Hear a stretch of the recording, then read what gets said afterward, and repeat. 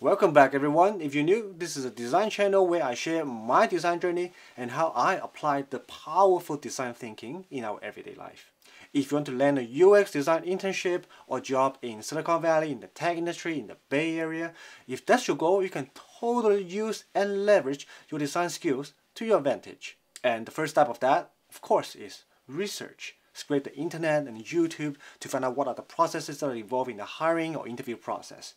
And that is exactly what I'm going to share today because in this video I'm going to share some of the interviews that I have with these tech companies in the Bay Area, in Silicon Valley, these FANG companies, how many rounds that they were, what were the rounds, what type of interviews, what are the processes that were involved. I'm going to cover some big companies like Apple, Google, Facebook to smaller ones like Pinterest, Airbnb, Robinhood, etc.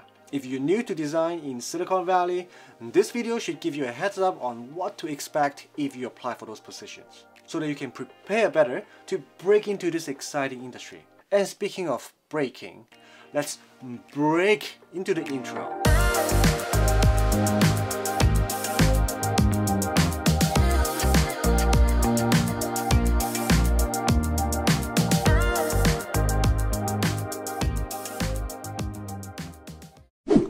Morning everyone, my name is Justeen, I'm a designer working in Silicon Valley. The first thing you have to know is that every company tends to have their own hiring process for UX design and I'm using UX very loosely here. Depends on their culture and value, they will set up their interview process differently. If you pass all the rounds at Apple, that doesn't mean you're guaranteed a role at Google. If you fail Facebook, that doesn't mean you're a bad designer, you might ace all the rounds at Twitter. Despite all the variations and type of interviews they might have, I think that I have interviewed enough that I see a pretty obvious pattern. No matter how they spin it, I think there's only going to be a relatively fixed set of rounds. Now for further ado, let's dive right into what those routes are.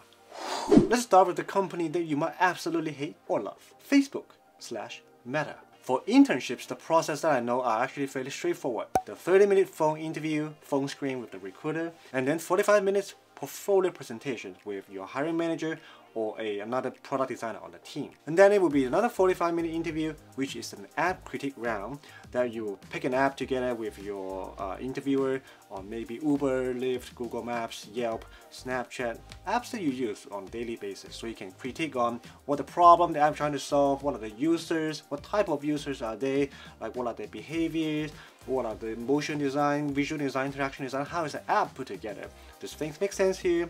What do you like about the app? What do you not like about the app? Essentially, you want to find out which part of the app actually blows your mind and which part of the app that sucks so much that you want to smash your phone to the wall. For full time, the process is actually still very similar. You still have the phone screen interview, 30 minutes with the recruiter, portfolio presentation, and also app critique. And then after this initial interview, you're going to go into an on-site interview process.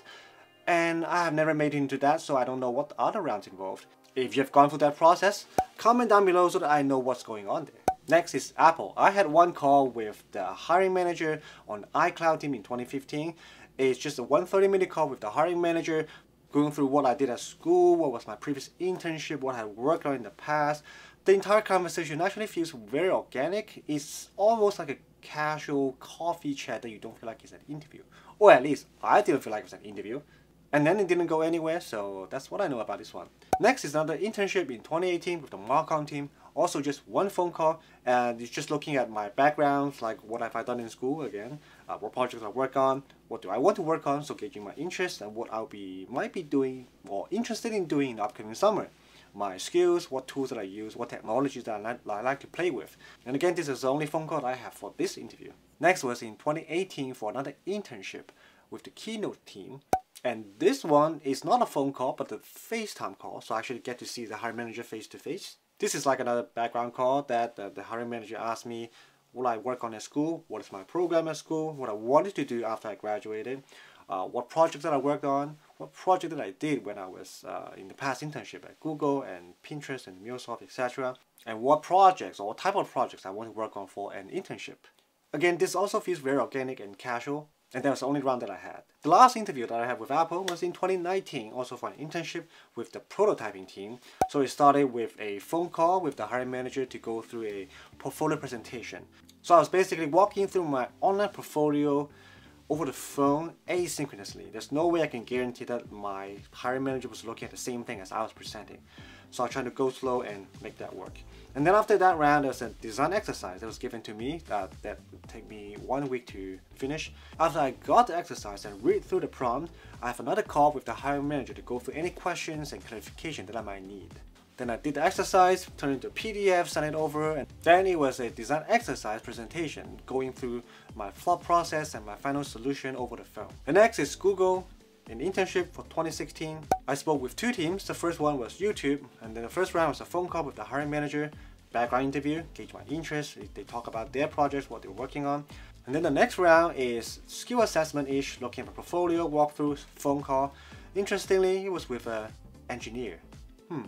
As for Daydream, again, background interview, walk through my portfolio asynchronously over the phone again.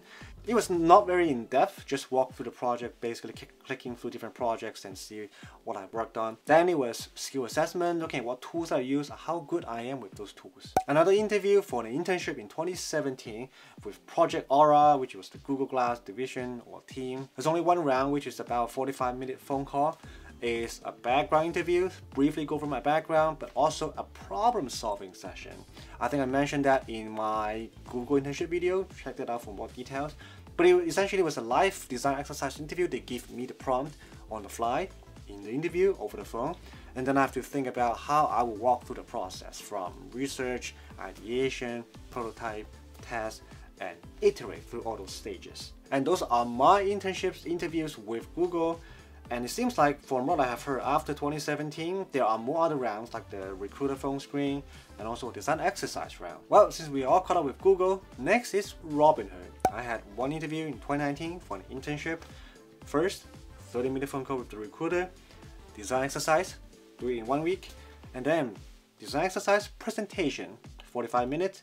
I make a dedicated deck to document my some of my process and my solution. Next is Pinterest. It was for an internship in 2016. First round, phone call with the recruiter, the design recruiter actually. So we went through my background, what I did in the past, and actually I need to present my portfolio over the phone asynchronously again. And then next round is a video call, portfolio presentation, share screen with the hiring manager. And then next, another video call with another designer uh, at Pinterest, but this more is about culture fit, looking at my design philosophy, what project that I like, what product that I like, what product that I don't like, and ask me to elaborate on my thought process. So I covered this, I think, in my Pinterest internship video, so check that out if you're interested. Next is Airbnb 2018 for internship. I had one phone call with the hiring manager, going through my background, and then design exercise for one week. Next is Lyft for an internship in 2019. First round, phone call with one designer, walking through my portfolio over the phone again, and also some background questions and what I like to work on. Then Uber for a communication design internship in 2016. They gave me a design exercise to do it. I sent it over. Nothing came back. Next, Yelp product design internship in 2016. I got an exercise. I did it. I sent it back. They gave me some feedback, and that's pretty much it. Palantir internship in 2016. First round with the hiring manager about culture fit, background, my interest, and then design exercise. After that, of course, design exercise presentation. Over video call, I can share what I have, but I didn't have a deck. I only have papers with sketches and wireframes. So you know how it turned out. Then another interview for a full-time position in 2019. It started with a portfolio presentation, 45 minutes. Over the video call, I can get to share my screen but I share my online portfolio. Probably a bad move. DoorDash, full-time, 2019. I actually covered this more in depth in one of the videos. Check that out, corner description. 45 minute presentation in person, so I use Keynote. An interview with the PM, a problem solving session, whiteboarding, so I have to use the giant whiteboard with the marker, running all my notes, my thought process, my wireframes, and my solutions, and my elevator pitch. It was uh, a collaborative session with 1 PM another designer. And then a cultural fit interview. And then it wraps up with a hiring manager final chat. This is not really an interview, but more of me interviewing them. If I have any final questions, ask them. That's when I do it. Next, Waymo for an internship in 2018. There's only one round, uh, video call with the entire design team, portfolio presentation, walk through my online portfolio together, screen share of a video call. Next is Waymo my current position, 45 minute portfolio presentation. I did it in person, keynote, and then three interviews with three different engineers and 1 p.m. interview. Lastly, hiring manager chat. Any questions that I have? Over lunch, actually. Next is Fitbit, a full-time position. Again, portfolio presentation, 45 minutes in person. I did it in Keynote. A whiteboarding session, problem solving, whiteboarding session. And then I had an interview with the user researcher and an interview with the PM. And at the end, again, hiring manager, final chat. Next is Chime, which is a fintech startup in San Francisco. Again, first round, portfolio presentation in person. I did in Keynote. An interview with the user researcher. An interview with the customer success. And then interview with an engineer. And at the end, hiring manager, final chat. Whew. So this is the 15th interview that I covered. Are you bored yet? Well, at least I'm getting bored. If you're getting bored too, um, well, that's perfect because you just proved my point from the very beginning. It gets boring because the content gets repetitive. It's repetitive because you clearly saw a pattern that starts to repeat itself. A clear pattern of what type of rounds and types of interview it will be. So to zoom out, here's how I would sum it up. There are basically eight different types of interview in general. First, you have the phone screen with recruiter. You should pass this, no problem, easy peasy. And then portfolio presentation, 45 minutes, talk about one to two projects. It could be in person, it could be through a phone call asynchronously, which is pretty bad, or a video call which you can screen share. And then app critique, typically 45 minutes. Pick an app, go through all the aspect of it. Facebook famously have this round all the time. A design take-home exercise, design exercise presentation, culture fit interview, where you talk about your design philosophy, your self-awareness, your worldview, soft skills, how to work and treat people. And then it's the background interview, what you have done in the past, what you do at school, what projects that you did, just talk about it, don't have to show anything. And of course, skill assessment, like what tools you use, what tools you know, how well you know those tools. Last one, problem solving. So this could be either live design exercise that you talk through it on the fly, there's no preparation beforehand while you're in a call, video call or phone call, or a whiteboarding session which you cannot prep either.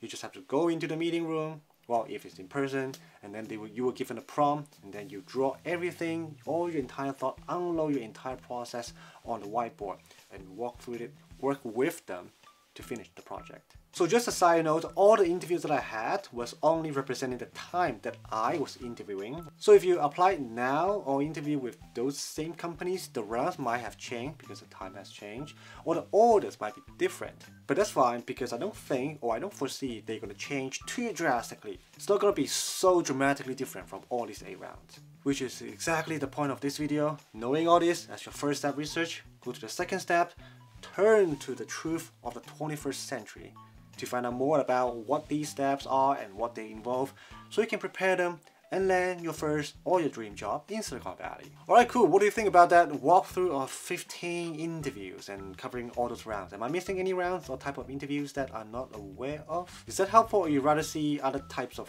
content? I read every comment, so let me know what you think in the comment section down below. In some of the upcoming videos, I will probably go through what I did for those rounds and what I learned from those rounds once I failed, so that I can pass my learning to you for your UX adventures. And here are some related topics I plan to do in future videos. If you have a strong preference of which one you want to see first, simply let me know in the comment section down below. That's it for today. Thank you guys for watching. If you find this video useful or insightful, please smash the like button for the YouTube algorithm. This is still a very small channel, so every like counts and I greatly, greatly appreciate it. If you want to see more UX design videos like this, consider smash the subscribe button as well. Doing so will tremendously help the channel and motivate me to produce more high quality content down the road. Have fun following your passion and keep designing a better future. See you on the next video. Cheers!